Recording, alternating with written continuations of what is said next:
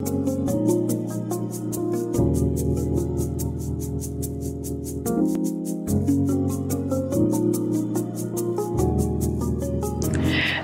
here at Beulah Heights University has prepared me to be ministry ready for the United States Air Force Reserves. I commissioned into the United States Air Force Reserves in 2014 as a second lieutenant.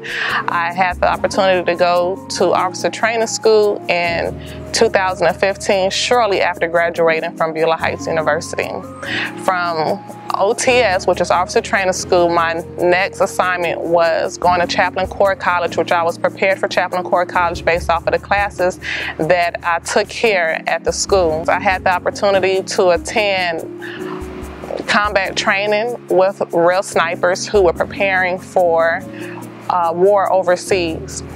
Ministry here at Beulah Heights University has prepared me to be well equipped to speak with others, to be present with them, and to listen to their story, as well as provide ministry. Uh, global ministry is the focus here at Beulah Heights University, and I've met and come across various people from various backgrounds. I did a training this year in Louisiana at Barksdale Air Force Base where I had the opportunity to interact with many airmen as well as being a part of a memorial service. So ministry is happening.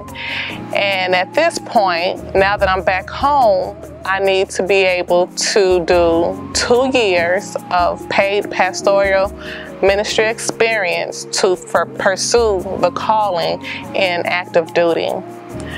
Beulah Heights University has been a great support system in following me in my process beyond the classroom.